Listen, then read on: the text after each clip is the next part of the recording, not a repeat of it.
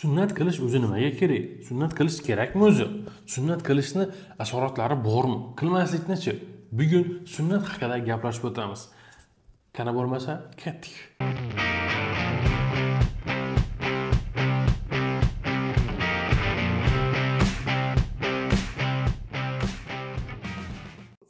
Sizda jinsiy aloqada erta bo'shanish bo'lyapti. Jinsiy aloqadan siz va ayolingiz qoniqmayapsiz. Endi buni yechimi bor. Bunda sizlarga softman spray prolongatorini tavsiya qilaman. Buni jinsiy aloqadan oldin ola boshiga sepiladi. o'n o'n besh daqiqa kutib buni yuvib tashlab jinsiy aloqada orgazmni cho'qqisi yetkazishni boshlasangiz bo'ladi. Soft men spray prolongatori jinsiy aloqada erta boshlanish kasalligini davolashda va jinsiy aloqa vaqtini 15 daqiqadan 40 daqiqagacha uzaytirib berishda yordam beradi. Seksual hayotingizni rang barang qilishda ayolingizni lazzat nimaligini his qilishda yordam beradi. Endi jinsiy hayotingiz o'zgacha bo'ladi.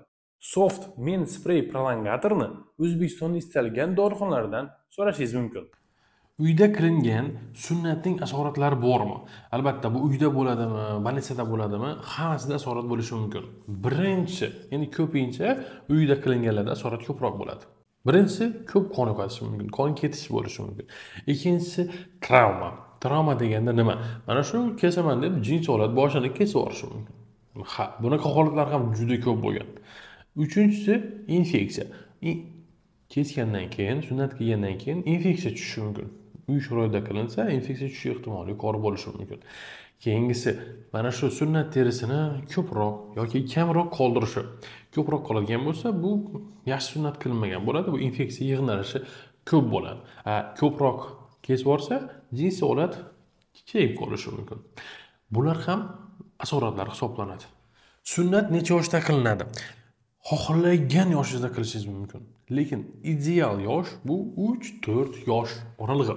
Uch to'rt yoshda qilsangiz zo'r bo'ladi. Sunnat qilmaslikning asoratlari bormi? Albatta bor. Birinchisi bu tez tez infeksiya tushishi bo'ladi.